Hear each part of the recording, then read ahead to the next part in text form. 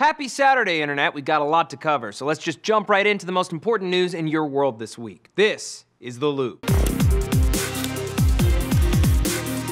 The United States Supreme Court announced in a historic 5 4 decision yesterday that same sex couples should be allowed to marry in all 50 United States. It's the single most significant civil rights victory of our time. In the majority opinion statement, Justice Anthony Kennedy wrote Under the Constitution, same sex couples seek in marriage the same legal treatment as opposite sex couples, and it would disparage their choices and diminish their personhood to deny them this right. He was joined in the majority by Justices Ruth Bader Ginsburg, Stephen G. Breyer, Sonia Sotomayor, and Elena Kagan. The court was asked back in October to review this issue, but they declined at the time. Since then, several states have passed pro gay marriage laws, bringing the number of states allowing the practice in total to 37. This dramatic cultural shift was the impetus that the Supreme Court needed to pass a change of this size to our Constitution. The official name of the combined case is Obergefell v. Hodges, which will go down in history with other landmark cases such as Roe v. Wade and Brown v. Board of Education. President Obama has a lot to be smiling about this week, calling this decision a victory for America. The Supreme Court's other major decision in the past week was to uphold a key element of the Affordable Care Act, the tax credits used by American citizens to buy health insurance. These two rulings will in many ways shape the legacy of the Obama administration, as they have been his key social and legislative issues throughout his tenure as president. Well done, Supreme Court, and well done, America. In France, a man was discovered to have been decapitated by a suspected ISIS supporter who tried to blow up a factory in Saint-Quentin-Fallavier. His head, displayed near the Air Products factory, was covered in Arabic writing. An Arabic employee of the transportation company managed by the victim was arrested near the factory and is the current lead suspect. Earlier that morning, a transport truck from the victim's company deliberately rammed into a pile of gas cylinders at high speed, causing a small explosion. Early reports say there were two attackers in the car, but at this time, no other suspects have been announced by police. Meanwhile, in Paris, taxi drivers blocked roads to airports and train stations as part of a massive nationwide riot against Uber. They burned tires and overturned cars along major streets, escalating until police had to intervene with tear gas. French taxi unions have long been up in arms against Uber, specifically because their service Uber Pop does not require drivers to pay heavy licensing fees to chauffeur passengers, putting taxi companies at a huge disadvantage. Reportedly, French taxi revenues have fallen between 30 and 40% in the last two years because of all the increased competition. As of today, Uber Pop is banned in Paris. It remains to be seen if the ban will hold. North Korea is in the midst of its worst drought in over a century, and surprisingly, South Korea is offering aid under only one small condition. North Korea just has to ask for help. The nation's announcement of the drought was widely considered a cry for help without asking outright by the global community, and so far only China has pledged aid to the much maligned dictatorship. That South Korea, a foe of North Korea for over half a century, is so willing to offer assistance is pretty remarkable. But as dire as the situation is in North Korea, I doubt that they will ever ask South Korea for assistance. This past Thursday, Google announced that they will offer free Wi-Fi to all of New York City by turning all 10,000 of the city's remaining telephone booths into ad-supported Wi-Fi pylons, which will also offer free cell phone charging, free phone calls to anywhere in the US, and a touchscreen information hub. The pylons will be available across New York City this fall and show the potential of a Wi-Fi and smartphone-driven future, but also the last gasp of our telephonic past being torn away from our collective consciousness. It's a technological and social passing of the torch that will thrill many and potentially change the face of American communication. If you shop at Whole Foods, you may have been getting overcharged. I know, shocker of the century, but thanks to the NYC Department of Consumer Affairs, we now have proof that Whole Foods has been regularly overcharging customers for meat, dairy, and baked goods by overstating the weight of the items, listing them as far heavier than the products actually are. A single package of coconut shrimp at the retailer was marked up by an egregious $14.84. Let me reiterate, that's not how much the shrimp cost, that's how much more they cost than they were actually supposed to cost. Other overcharges ranged between 4 and $6 per item, and Whole Foods has publicly denied the allegations. Last year, Whole Foods paid $800,000 in fines and pledged to improve pricing accuracy, but it seems that this is still not the case. Out of 80 different products examined at Whole Foods, all of them had mislabeled weights, and the department found that many individual packages simply weren't weighed at all. Incredibly troubling news from what many Americans believe is the zenith of the grocery world. And finally, what did people love in media this week? In music, James Taylor topped the Billboard 200 with his new album Before This World. In television, USA's Suits owned the iTunes episode and season download charts. And at the box office, Jurassic World held on to number one with a $106 million gross last weekend, followed by newcomer Inside Out, which grossed 90.4 million. And that's everything that you need to know about your world this week. So this weekend, when you're rushing to attend your gay friends' impromptu weddings, give them the gift of knowledge on their special day, because until next Saturday, you're in the loop.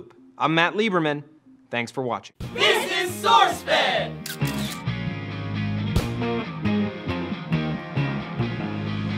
Okay, and I'm still afraid of the dark a little bit. I know that's true.